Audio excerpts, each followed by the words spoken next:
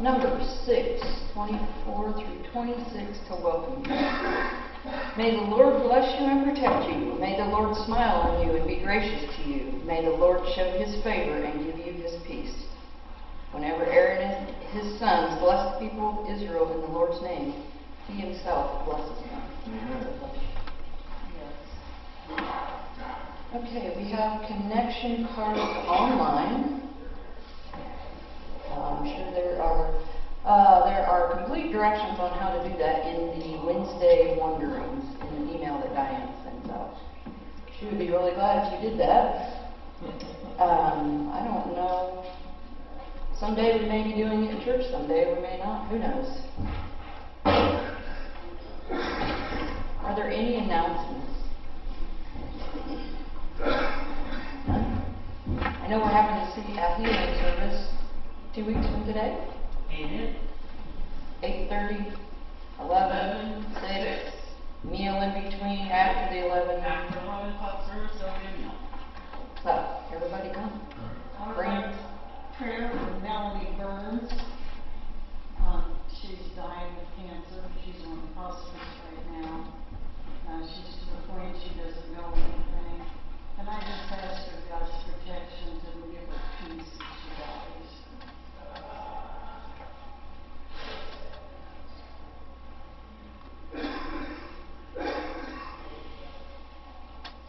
Okay. Uh, for call to worship, I want to read today's reading in the one-year Bible. Psalm 146. Praise the Lord. Let all that I am praise the Lord. I will praise the Lord as long as I live. I will sing praises to my God with my dying breath. Don't put your confidence in powerful people. There is no help for you there. When they breathe their last, they return to the earth, and all their plans die with them. But joyful are those who have the God of Israel as their helper, whose hope is in the Lord their God. He made heaven and earth, the sea, and everything in them. He keeps every promise forever. He gives justice to the oppressed, food to the hungry. He frees the prisoners. He opens the eyes of the blind. The Lord lifts up those who are weighed down. The Lord loves the. The Lord protects the foreigners among us. He cares for the orphan and widows, but he frustrates the plans of the wicked. The Lord will reign forever. He will be your God, O Jerusalem, throughout the generations. Praise the Lord. Amen. Will you pray with me, please?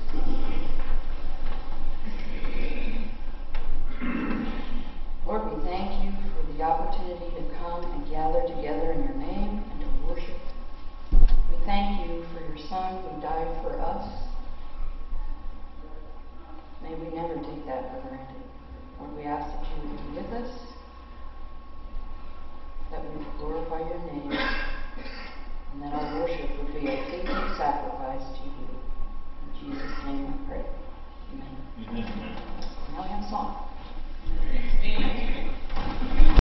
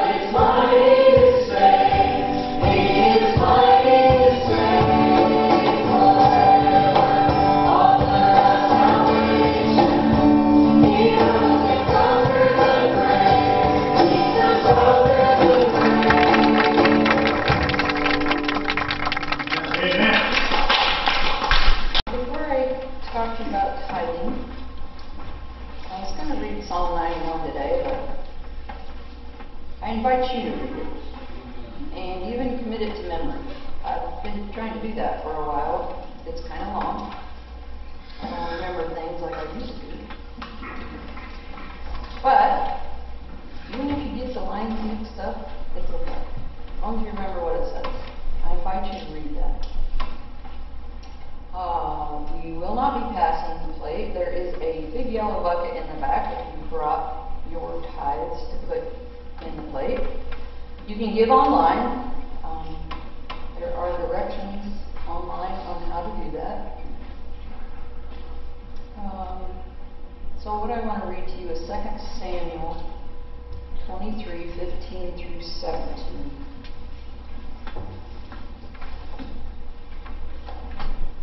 Okay, so David is on the run from Saul, who's trying to kill him.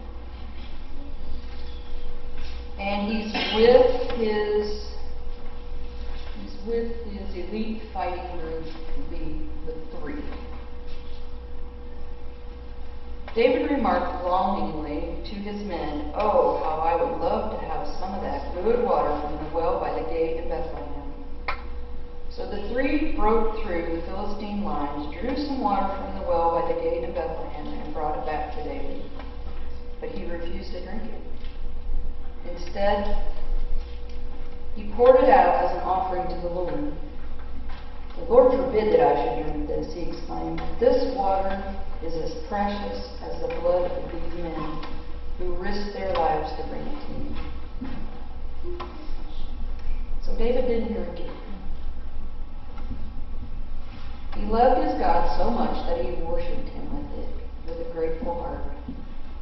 He could have gulped it down and gave thanks. He could have drank half of it and sacrificed the rest, but he gave it all. So with grateful hearts and devotion, we must decide to tithe, and we must decide how much. Amen. Worshiping as we do so. So we have special music, that's on video. Was here. I'm sure he'll be. Oh, there he is.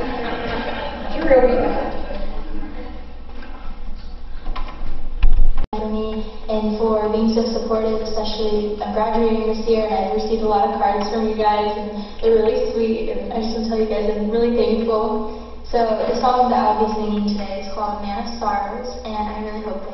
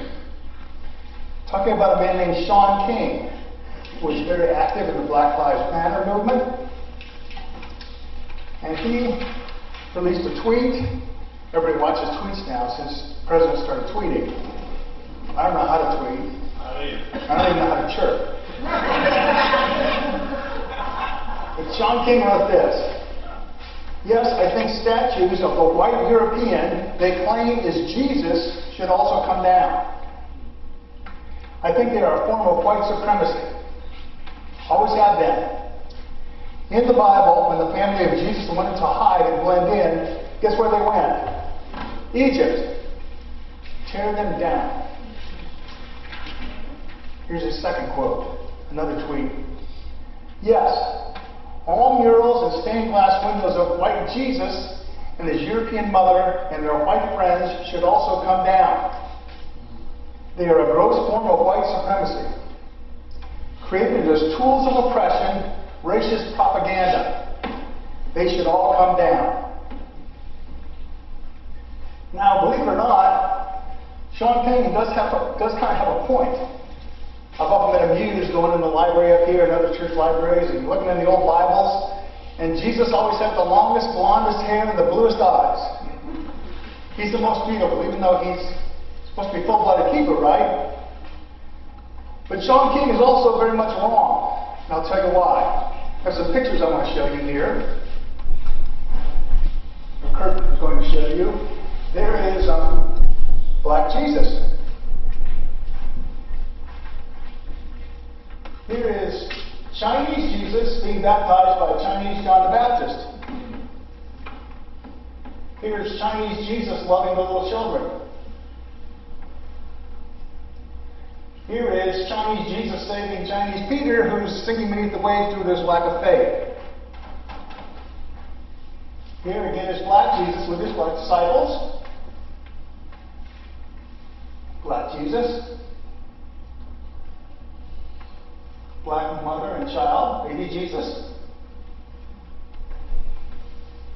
European blue-eyed Jesus.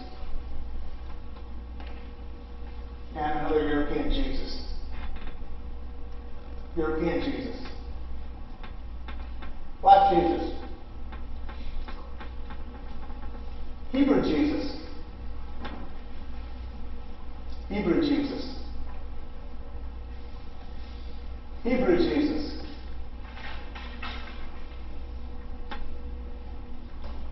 This is, there's nothing wrong with this.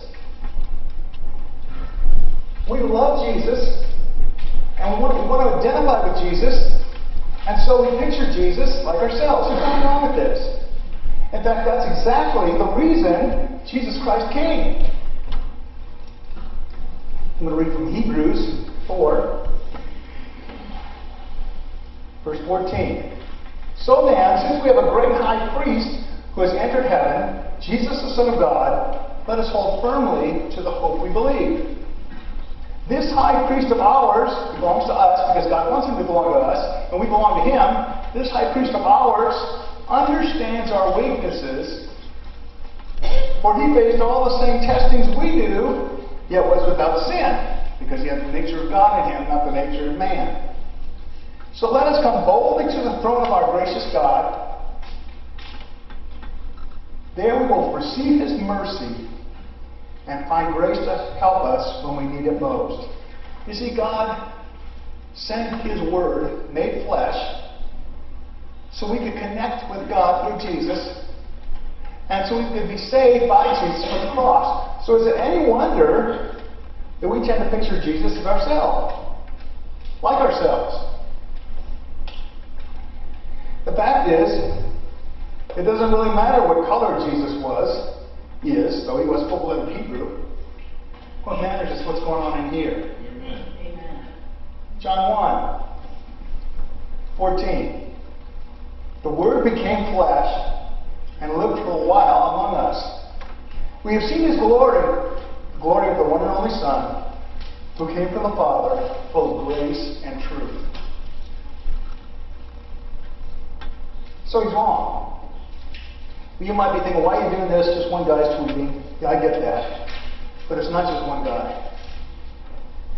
As we had protests, which went into looting, which went into riots, now it's turned against churches, specifically church buildings at the moment. This is an article by Daniel Greenfield, a Shillman Journal. Shillman Journalism Fellow. Anyway, he's a really good journalist. you think this is easy, but it's not. the assault on James St. John's Episcopal Church by radicals and racists was the ugliest moment of the D.C. riots. Not only was the famous 204 year old church which every president since Madison has attended, sprayed with graffiti, some of the thugs even tried to burn it down. The attack on President and President Trump's subsequent visit to the Church of the Presidents captured the attention of the nation.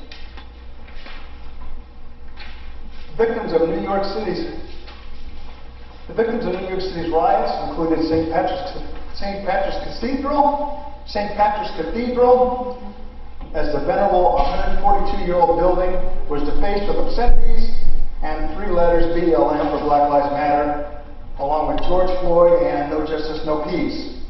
In Richmond, Virginia, Beth Ahava, a 225-year-old Reformed Jewish congregation, had the windows of its grand 116-year-old building smashed by rioters. The building is now covered over by plywood. This is America. You understand that, right? St. Paul's Episcopal Church, 170-year-old building, also in Richmond, was defaced with graffiti. Finally, rioters broke, in Richmond broke the windows of the West Broad Church of Christ, an African American congregation. Some of the nationwide vandalism of, churches and synagogues featured generic Black Lives Matter slogans, but some had hateful messages that were specifically targeted to houses of worship. The Cathedral Basilica of the Immaculate Conception in Denver, a 108 year old building, was at the center of some of the local riots. Vandalized with graffiti reading pedophiles and God is dead.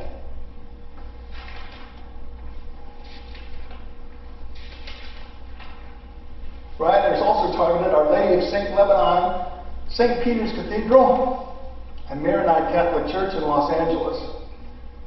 The 83 year old cathedral is also home to a Middle Eastern refugee congregation.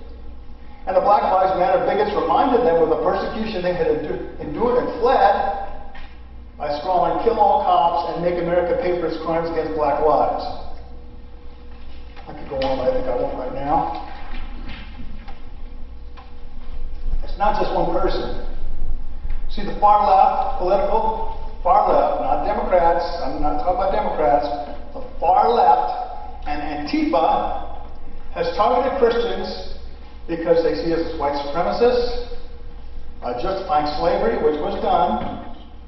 You know, Peter wrote, "Slaves, obey your masters." So, and that was used against against freedom of slave for many years.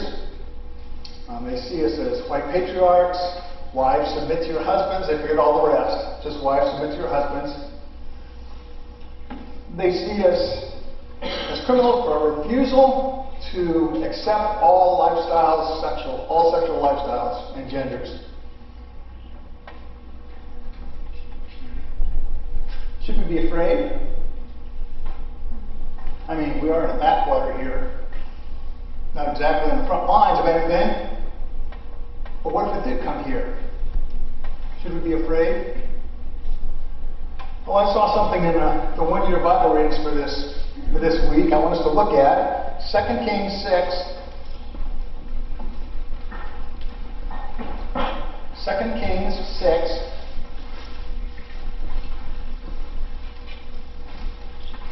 I'm going to start with verse 8.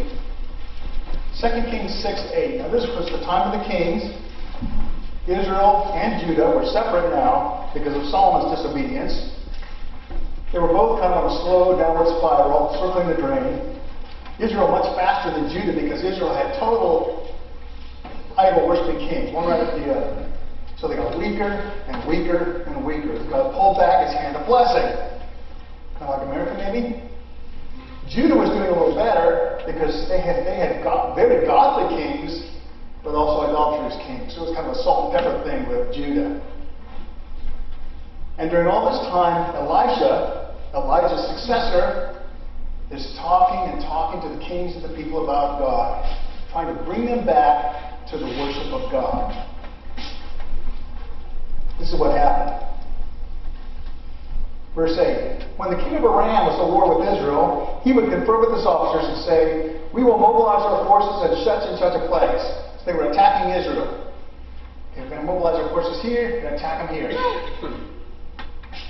But immediately Elisha, the man of God, this is funny, would warn the king of Israel, Do not go near that place, for the Arameans are planning to mobilize their troops there.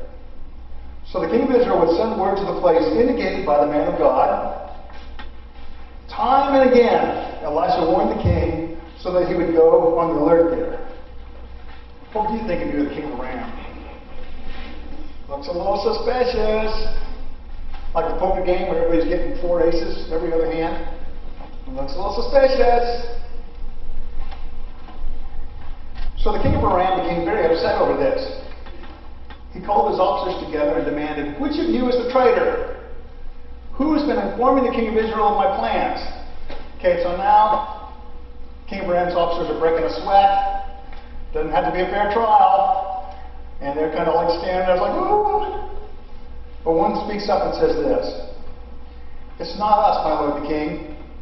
Some of the officers replied, Elisha, the prophet in Israel, tells the king of Israel, even the words you speak in the privacy of your bedroom. Yeah. So King of Aram, at this point, should have, you know, okay, let's go attack somebody else. But no, people learn very slowly. Go and find out where he is, the king commanded, so I can send troops to seize him.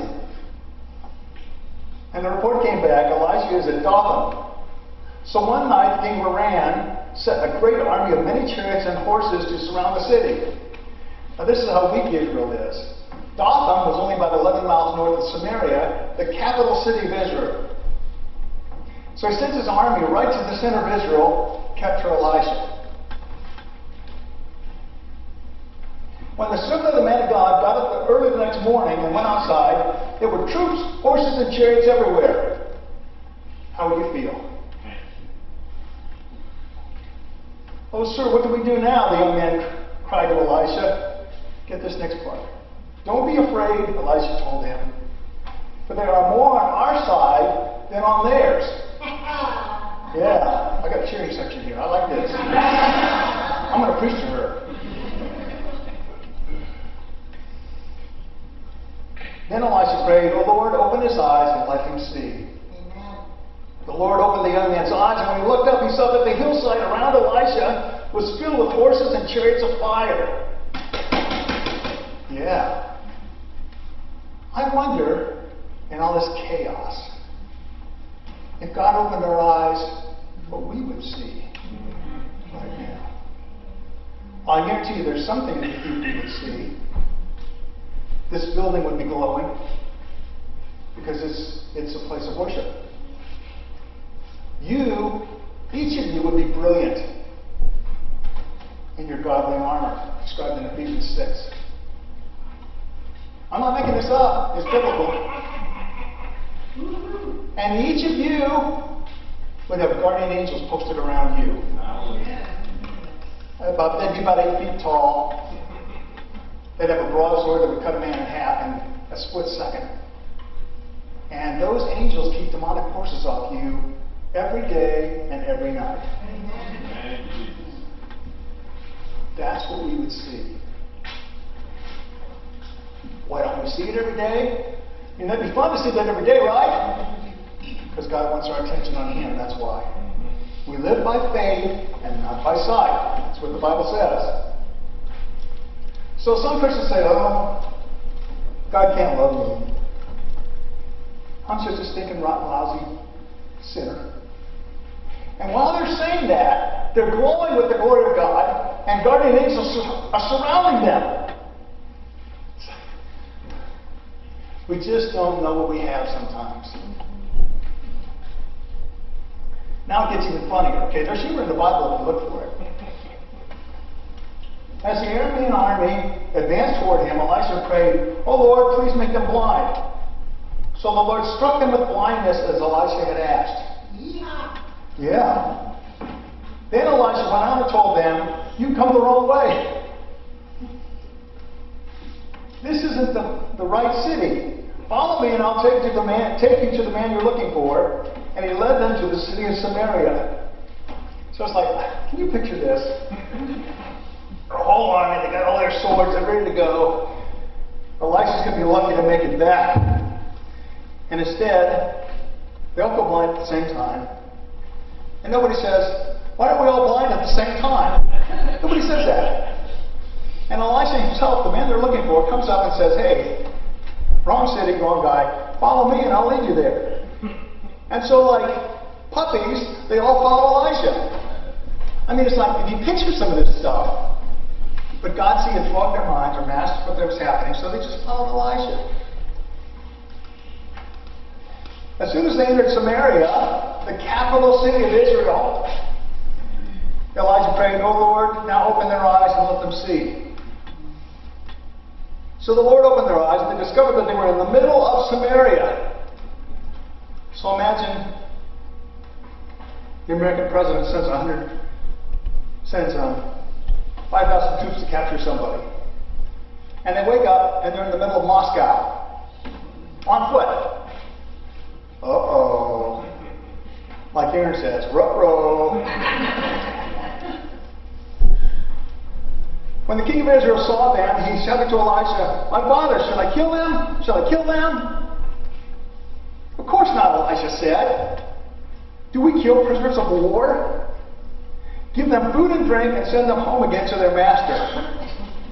So the king made a great feast for them and then sent them home to their master. After that, the Aramean raiders stayed away from the land of Israel. So, okay, this isn't working. Don't be surprised at what's happening in the news in our nation. Don't be surprised. Jesus always told us this was happening. And he warned us not to scare us, but to encourage us. I'm going to John 10, 6 to 10. John chapter 10, 6 to 10.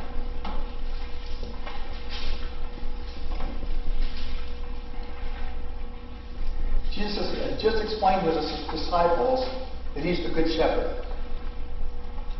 He says this. Well, first, those who did, after heard Jesus use this illustration didn't understand what he meant. So he explained it to them. I tell you the truth, I am the gate for the sheep. All the, I'm the way, I'm the way into heaven. Enter me, you enter heaven. Now just stop and think, think about that for a minute. Jesus didn't say, enter me and pay your tithe every week. Jesus didn't say, enter me and never say a dirty word again. Jesus didn't even say, enter me and never commit adultery or screw your life up in a horrible way. Jesus said, enter me and you have eternal life. How many of you have eternal life this morning? Yeah. There's a woo-hoo. There's a woo-hoo.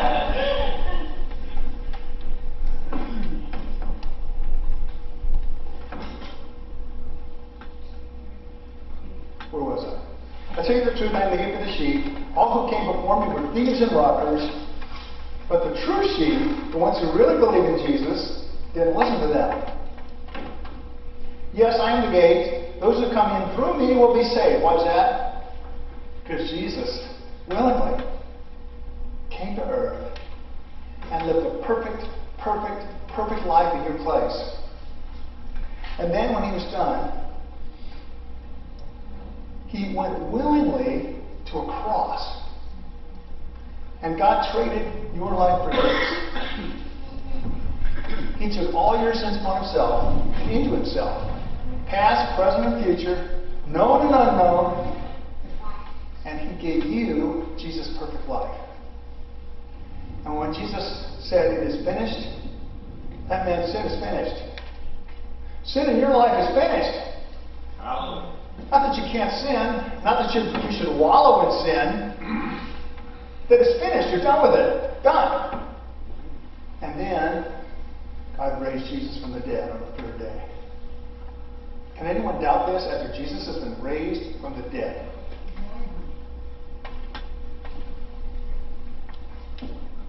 Those who come through me will be saved. Not might be saved, will be saved. They will come and go freely and find good pastures. The thief's purpose, that's Satan, is to steal and kill and destroy. My purpose is to give them a rich and satisfying life. Now we're seeing this mapped out right now in the headlines. Protest over a, a, a, a, policeman who kneels on a man's neck till, he, till he's dead. Anger? Justified? Yeah. But then it goes to stealing. And then it goes to killing. Several people have been killed in these riots. And now it's into destroying. Even people who want to destroy the church. See, it's right here in the scriptures. But Jesus said, don't worry about that. I came so that you can have a rich and satisfying life. Amen. How many of you have a rich and satisfying life today? Raise your hands. Boy, I do. I'm telling you what, I'm so grateful to God for all He's done for me and all He still does for me. I'm so grateful to God.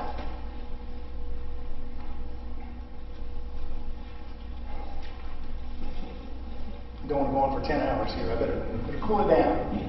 Jesus told us what to do in Matthew 10, 24 to 33. Matthew 10, 24 to 33.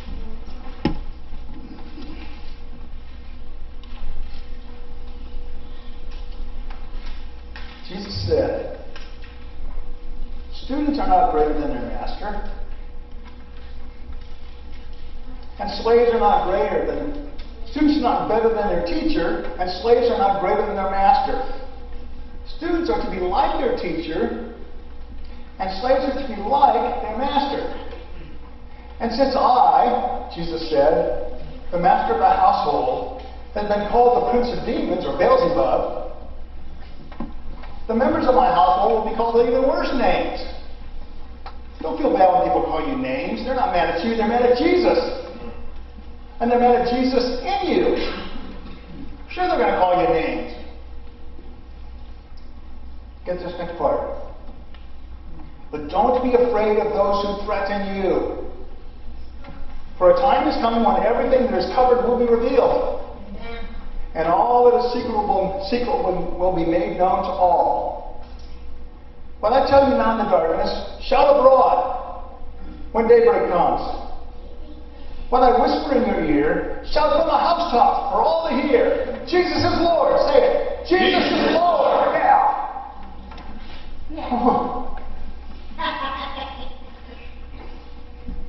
Jesus said, Don't be afraid of those who want to kill your body. They cannot touch your soul. Amen. So you have eternal life. They can't take that away from you. Fear only God can destroy both soul and body in hell. Fear God, how do you mean that? Don't deny Him. Stay with Him. No matter how hard it, how hard it gets, no matter how many people don't like you anymore, stick with God through Jesus Christ. What is the price of two sparrows? One copper coin? But not a single sparrow can fall to the ground without your Father knowing about it. And the very hairs on Aaron's head are all numbered.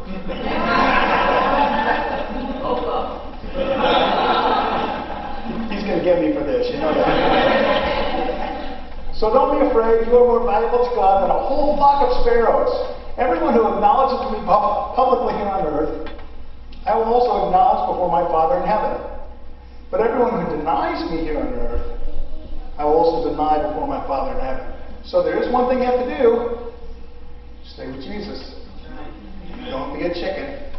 Don't deny him. Remember, you have eternal life. This life is temporary. That life's forever.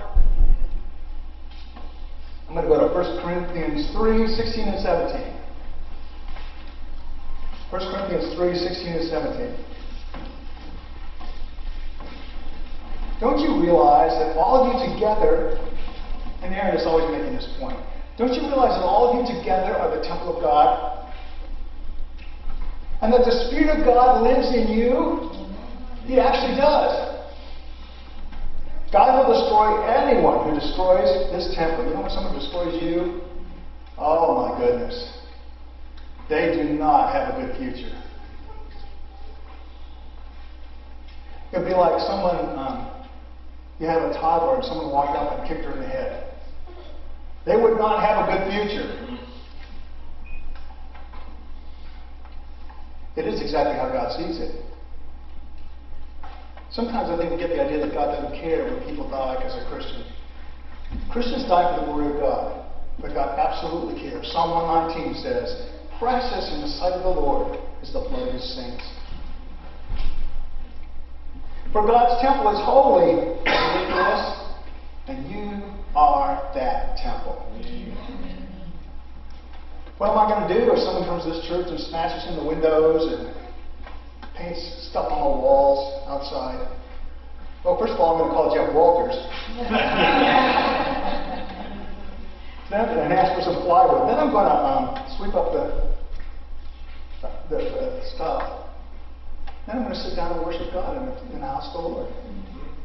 And if someone kills me, wow. I get to go to heaven. Amen. Isn't that right, Mike? That's right. I get to go to heaven. What do you have to lose? So what do we do about this? The thing we do is, first of all, don't give in to hate. Don't don't don't don't give in to hate. The second thing is get closer to God than you've ever been before. And then, even in persecution, you can have joy. Christians are doing it all over the world. The Chinese church had an estimated 100,000 Christians, if I remember the numbers right, when Mao Zedong took over. Now, they have an estimated 100 million Christians.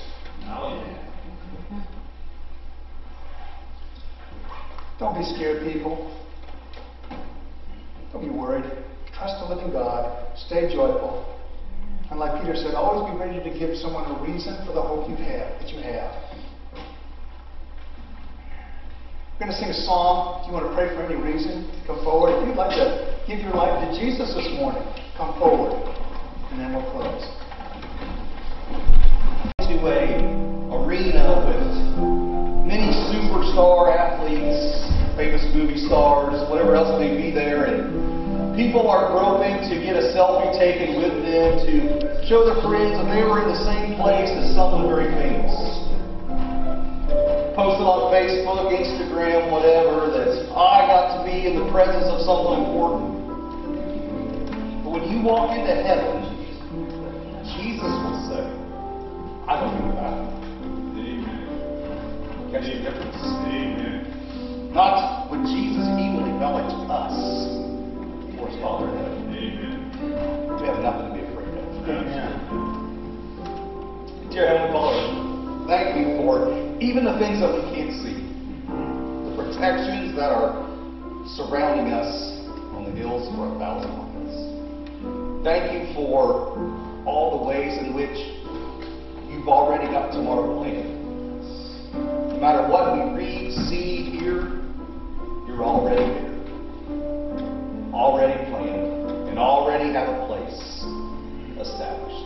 Father, thank you for that. Thank you for that security. And Father, help us to uh, walk out of this place and share that, uh, Father, with the world that is full of fear, that is uncertain, that can't see and can't hear uh, how much you love them. Allow them to see it in us and be drawn into your kingdom for your glory. For there are more with us than there are with them. Amen. Amen.